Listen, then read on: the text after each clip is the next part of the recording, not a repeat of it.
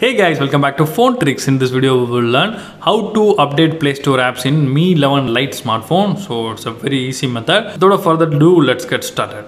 First of all, you need to open Play Store.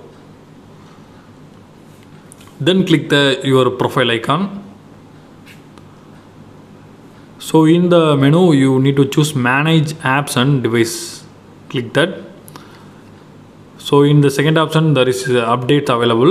There are five updates pending in this phone. So you can click update all. Otherwise you can see what are the updates are available. So you need to click see details.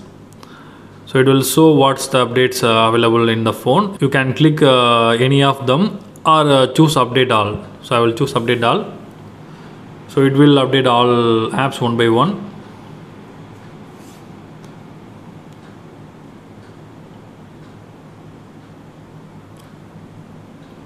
So that's all guys. I hope this video is very useful to you. If you like this video, hit thumbs up and do subscribe our channel for more updates. Thank you.